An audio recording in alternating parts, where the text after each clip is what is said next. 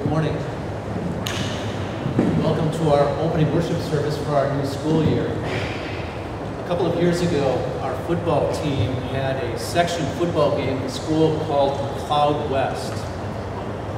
After the game was over, we loaded the bus and we attempted to leave the parking lot. There was just one problem. There were two students from the other school who were literally standing in front of our bus and they were just slowly walking. So our bus driver, to avoid running over these students, had to just inch the bus forward. And that night, I'll never forget what one of our teachers said. He said, we should be thankful for the students we have. And that's true. I'm thankful for the students at West Lutheran High School. I'm thankful for my fellow teachers. I'm thankful for our staff. I'm thankful for all of the supporters who make West Lutheran High School a reality. The Apostle Paul often included words of thanksgiving in his letters. For example, in Ephesians chapter 1, verse 16, the Apostle Paul said, I have not stopped giving thanks for you. Today we're going to thank God for one special blessing that God has given to us, and that's the unity that we enjoy as members of His holy Christian church. The theme for our school year is based upon Ephesians chapter 2, verses 21 and 22. The theme for our school year will be Together in Christ. We'll begin with our responsive call to worship. In the name of the Father, and of the Son, and of the Holy Spirit. Amen. The word is near you. It is in your mouth and in your heart. It is with your heart that you believe and are justified. It is with your mouth that you confess. Everyone who calls on the name of the Lord will to shame.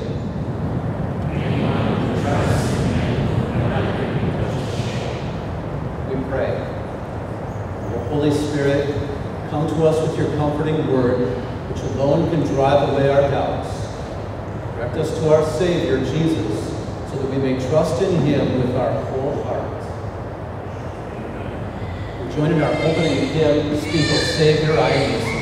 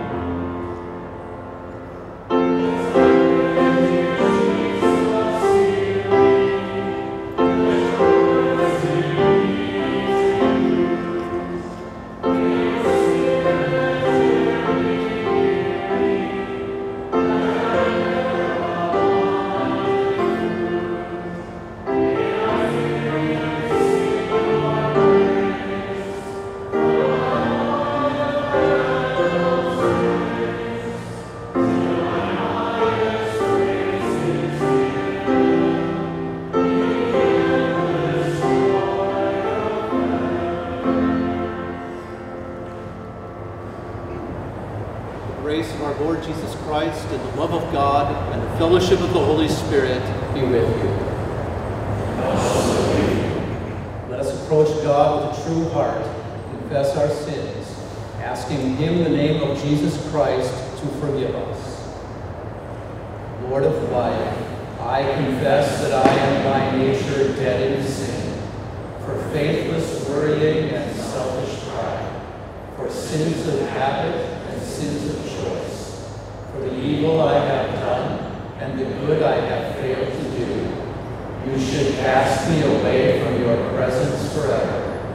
O Lord, I am sorry for my sins. Forgive me for Jesus' sake. Christ has died. Christ has risen. Christ will come again.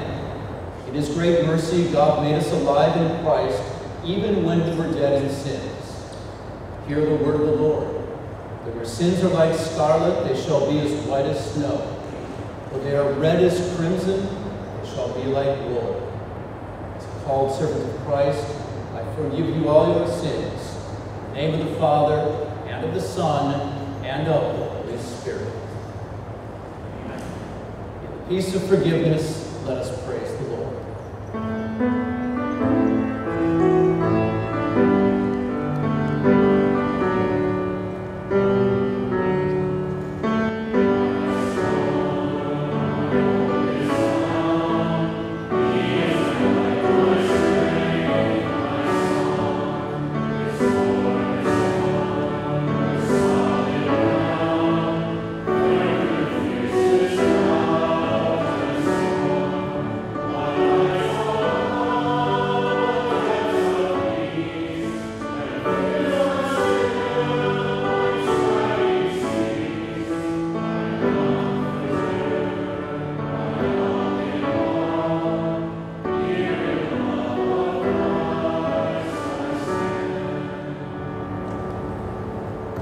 We pray.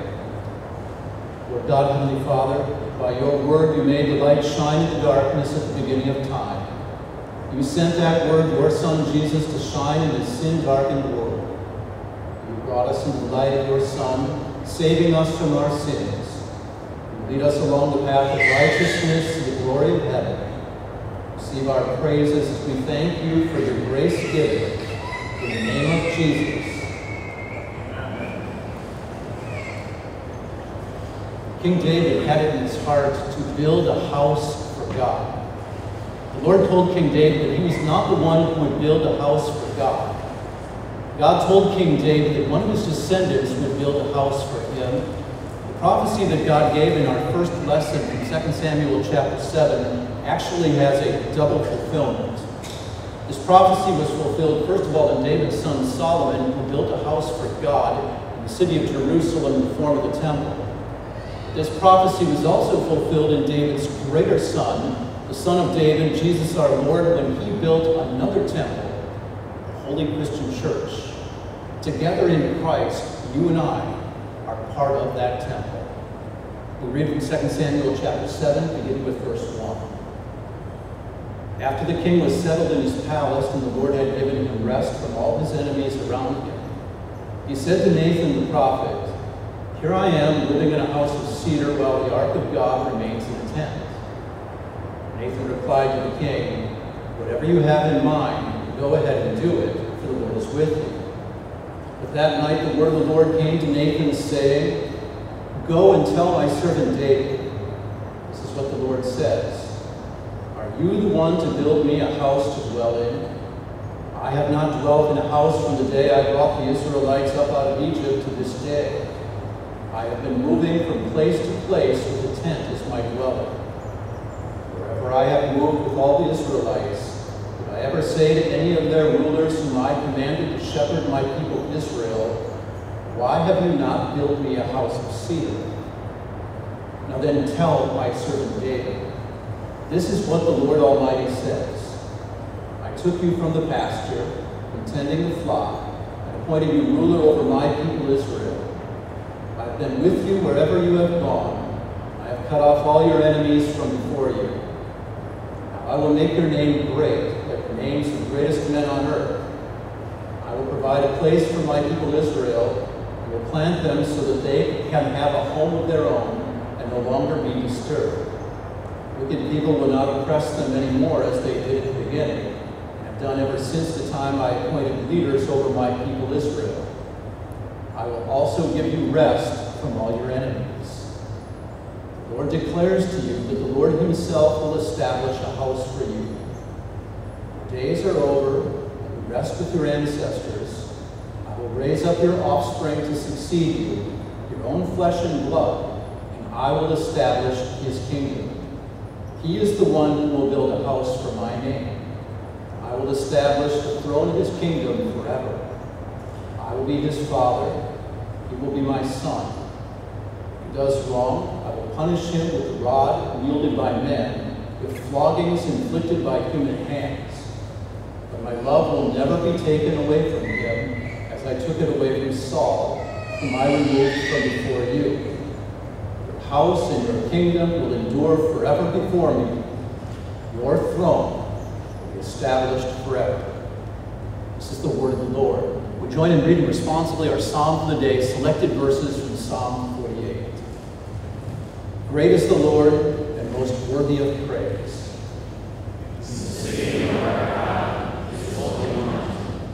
God is in her citadels.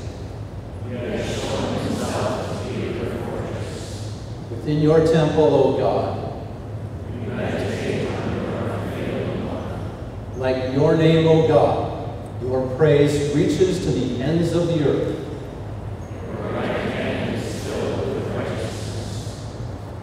Mount Zion rejoices.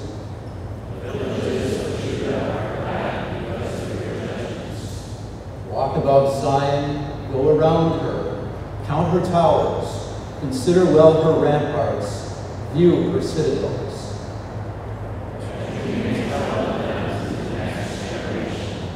For this God is our God forever and ever.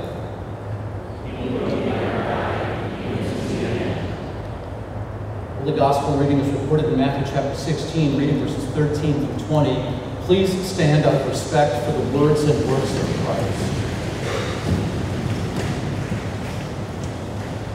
When Jesus came to the region of Caesarea Philippi, he asked his disciples, Who do people say the Son of Man is?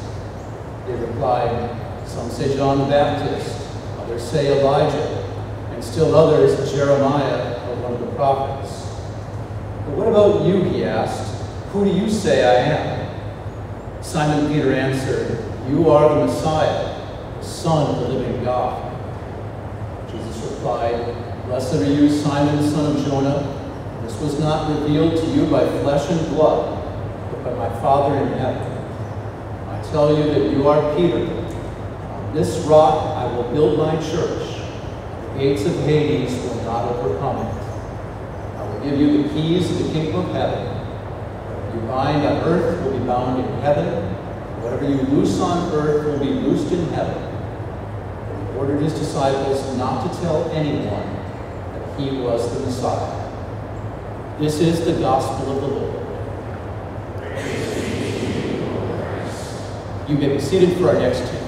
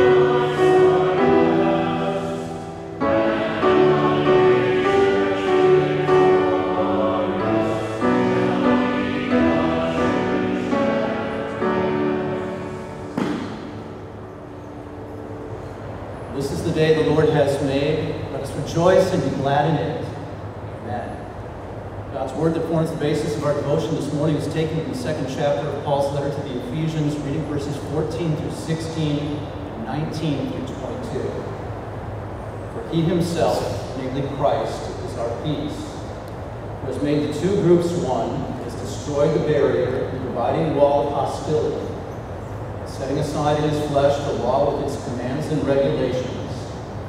His purpose was to create in himself one new humanity out of the two, thus making peace.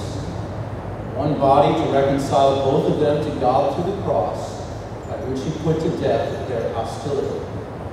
Consequently, you are no longer foreigners and strangers, but fellow citizens with God's people, also members of his household built on the foundation of the apostles and the prophets, Christ Jesus himself as the chief cornerstone. In him the whole building is joined together, rises to become a holy temple in the Lord. In him you two are being built together to become a dwelling in which God lives by his Spirit. In the name of Christ, the church's one foundation, dear fellow members of God's temple, his holy Christian church. One of the most famous speeches of the 20th century was delivered in this location. This is known as the Brandenburg Gate. The Brandenburg Gate was at one time part of a wall that was known as the Berlin Wall. After World War II, you might remember that the city of Berlin was actually divided into two separate cities, West Berlin and East Berlin. But in 1961, the Berlin Wall was constructed around the Brandenburg Gate to separate the two cities. Now, the purpose of the Berlin Wall was not to keep people from entering into East Berlin.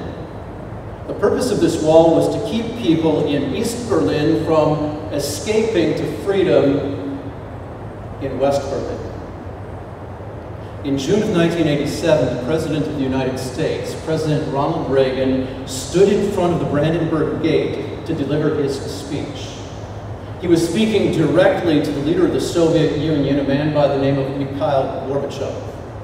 And in this speech, President Reagan said these words General Secretary Gorbachev, if you seek peace for the Soviet Union and Eastern Europe, Mr. Gorbachev, open this gate. Mr. Gorbachev, tear down this wall. And sure enough, two years later, in 1989, the Berlin Wall was torn down. West Berlin and East Berlin became one united city. This morning, I'd like to take you to another wall. But this wall is not the most famous wall in the world today, and that, of course, would be the Great Wall of China. This wall that I want to take you today is not a defensive fortification like Hadrian's Wall in northern England. The wall that I'd like to take you today is not a controversial wall like the Wailing Wall in the modern day city of Jerusalem. The wall that I'd like to take you today is not a memorial such as the Vietnam Veterans Memorial Wall in Washington, D.C.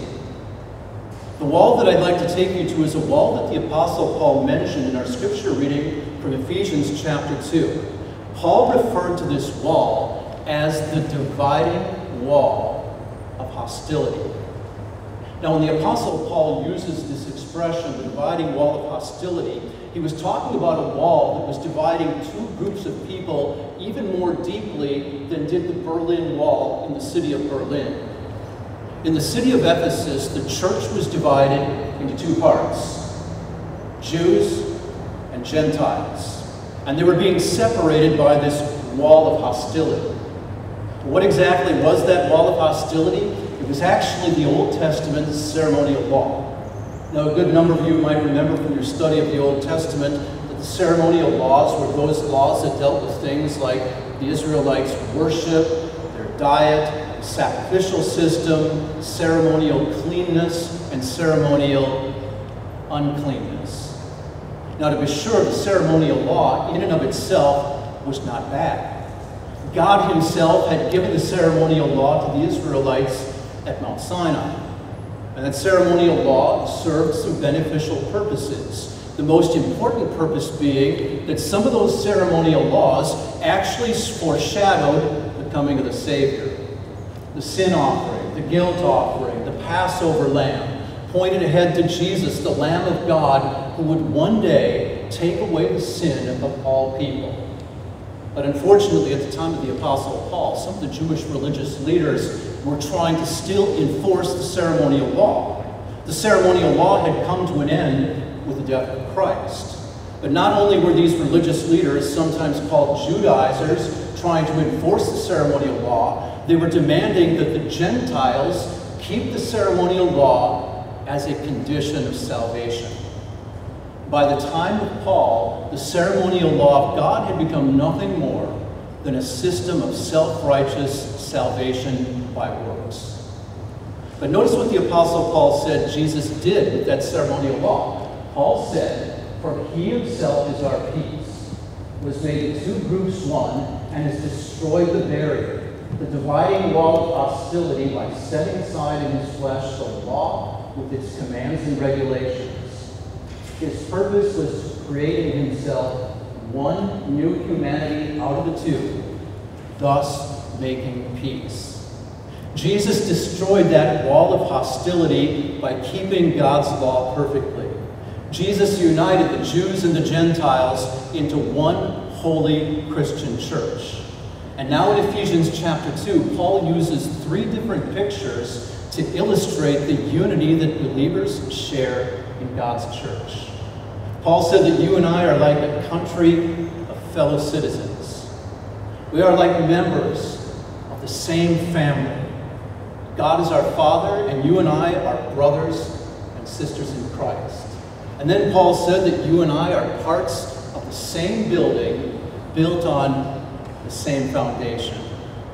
Paul described the unity like this You are no longer foreigners and strangers, but fellow citizens with God's people and also members of his household, built on the foundation of the apostles and prophets, with Christ Jesus himself as the chief cornerstone.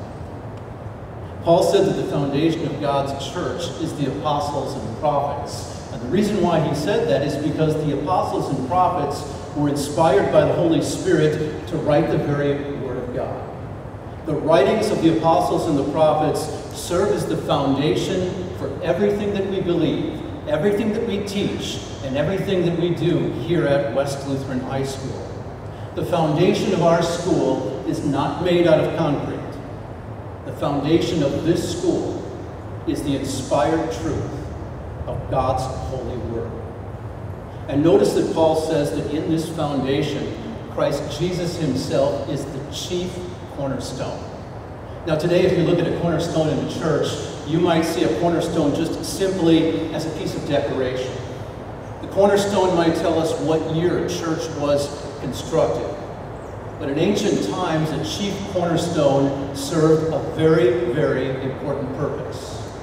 The chief cornerstone was generally the first and the largest of the stones that was laid in the building's foundation. The cornerstone was placed at the corner of the building, and it would guide the builders in building the walls of the structure. The walls of the building would be in perfect alignment with that chief cornerstone. And likewise in God's church today, what we believe, what we teach, is in perfect alignment with Christ, His work, and His saving word. By nature, you and I were not part of God's holy Christian church. But what has God done for each one of us? Paul explains it in these words. He says, In him, the whole building is joined together and rises to become a holy temple of the Lord. And in him, you two are being built together to become a dwelling in which God lives by his Spirit. God has built his church on one foundation, his holy word. He has built each one of us on one chief cornerstone, his Son. He has united us together in Christ through our faith in him. And yet sometimes, even in the church today, even in our school, there are walls of hostility that can still arise. There are walls of hostility that can separate us. There are walls that divide us. There are walls that might isolate us from one another. What are some of those walls? Some of those walls might be sinful grudges. Some of those walls might be gossip or immature humor. Sometimes those walls might be jealousy or pride or even political differences or even that self-righteous Pharisee that lives inside my heart. Whenever these walls of hostility arise among us, fellow Christians, tear down those walls. You and I have been reconciled to God through Christ. We have been brought near to the Father through the blood of Jesus. Jesus has destroyed that wall of hostility between God and us by taking away our sin. Jesus is our peace with God and Jesus is also our peace with one another. As fellow believers, you and I have a special relationship with one another. And the New Testament speaks often about this relationship. For example, on the night before Jesus' death, Jesus told his disciples, Love one another. He said, A new command I give you, love one another. By this all men will know that you are my disciples if you love one another. It's going to happen in the course of the next nine months that some of us are going to sin against each other. So please keep these words in mind Paul wrote in Colossians chapter 3. He said, Forgive one another, accept one another. Like Christ, let's serve one another. And life can be pretty difficult, and some of us here this morning might be going through some pretty major problems in our life. But that's certainly one of the blessings of being in a Christian church and in a Christian school because you and I have the opportunity to encourage one another, to pray for one another. And should the sin of pride ever rear its ugly head among us, let's put away that pride and in humility, let's submit to one another. All of these different thoughts can be unified in one command that Paul gives in Romans chapter 12 when he said, Be devoted to one another.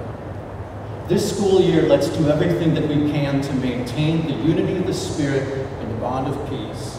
And should some wall of hostility arise between us, fellow Christians, let's tear down that wall. Let's live each day together in Christ. Amen. Our service will now continue with our confession of faith. We will confess our faith using Martin Luther's explanation of the second article of the Apostles' Creed. Please join with me. I believe that Jesus Christ, true God, begotten of the Father from eternity, and also true man, born of the Virgin Mary, is my Lord. He has redeemed me, a lost and condemned creature, purchased and won me from all sin, from death and from the power of the devil not with gold or silver, but with his holy, precious blood and his innocent sufferings and death. All this he did that I should be his own, and live under him in his kingdom, and serve him in everlasting righteousness, innocence, and blessedness, just as he has risen from death, lives and rules eternally. This is most certainly true. Our service will now continue with the installation of Mr. Stephen Gurgel and Pastor Mark Kaesmeyer. Our Savior Jesus Christ has said to his church, All authority in heaven and on earth has been given to me. Therefore go and make disciples of all nations, baptizing them in the name of the Father, and the Son, and the Holy Spirit, teaching them to obey everything I have commanded you. Surely I am with you always to the very end of the age. A Christian school is one way we carry out our Lord's command to make disciples. We teach God's word trusting in his promise, train a child in the way he should go, and when he is old, he will not turn from it. Friends in Christ, you have been called as a teacher and director of mission advancement to West Lutheran High School. As ambassadors of Christ, you are to adhere to the pure doctrine of God's word. Be faithful with the gifts God has given you always to have in your heart the spiritual welfare of every soul under your care. You are to devote yourselves to the meditation and study of the Scriptures. You are to be an example to others in godliness and Christian living. You are to speak the truth in love. As the Apostle Peter reminds us, love each other deeply, because love covers over a multitude of sins. If anyone speaks, he should do it as one speaking the very words of God. If anyone serves, he should do it with the strength God provides so that in all things God may be praised through Jesus Christ. The ability to carry out this calling is not in us, but comes alone from God, as St. Paul reminds the Corinthian Christians. Not that we are competent in ourselves to claim anything for ourselves, our competence comes from God. The Holy Spirit, who himself has called you to this ministry, will be with you. Keeping with the word and will of the Lord, you are about to be installed as a teacher of religion and history and director of mission advancement at West Lutheran High School. I ask you in the presence of God and this assembly, fully determined to carry out this work according to the grace which God will give. If so, answer, I am. I am. Do you believe that the canonical books of the Old and New Testament are the inspired Word of God and the only infallible rule of faith and practice? If so, answer, I do. I do. Do you accept the, the three ecumenical creeds, the Apostles, the Nicene, and the Athanasian, as faithful testimonies to the truth of the Holy Scriptures? Do you reject all the errors which they condemn? If so, answer, I do. I do. Do you solemnly promise that all your teaching will conform to the Holy Scriptures and the Lutheran confessions? So, answer, I do. I do. Will give faithful witness to Christ in the world, that God's love may be known in all that you do and say? If so, answer, I will with the help of God. I will with the help of God. Almighty God, who has given you the will to do these things, graciously give you strength and compassion to perform them. Brothers and sisters in Christ, you have heard the solemn promise given by these servants called to serve the Lord's church. I urge you, therefore, to receive them with joy. Pray for them continually, that their ministry among you may be greatly blessed, and that they may have a cheerful spirit in all their duties. Honor and love them as the Apostle Peter urges. Live in harmony with one another, be sympathetic, love as brothers, be compassionate and humble. Pastor Mark Kaesmeyer and Mr. Stephen Gurgel, install you as a teacher and director of mission advancement at West Lutheran High School. In the name of the Father, of the Son, and of the Holy Spirit. May the Lord pour out on you his Holy Spirit for the work committed to you, that you may faithfully proclaim the gospel and build up the body of Christ. Let us pray. Gracious and most merciful Lord, thank you for providing faithful teachers and servants to your church to proclaim your word and serve our youth. Grant your blessing upon these servants that by their labors your lambs may be fed and your people strengthened and sustained in saving faith. Through Jesus Christ, your Son, our Lord, who has also taught us to pray. Our Father, who art in heaven, hallowed be thy name. Thy kingdom come, thy will be done on earth as it is in heaven. Give us this day our daily bread, and forgive us our trespasses, as we forgive those who trespass against us. And lead us not into temptation, but deliver us from evil. For thine is the kingdom, and the power, and the glory, forever and ever. Depart in peace. Our service will now continue with the singing of our next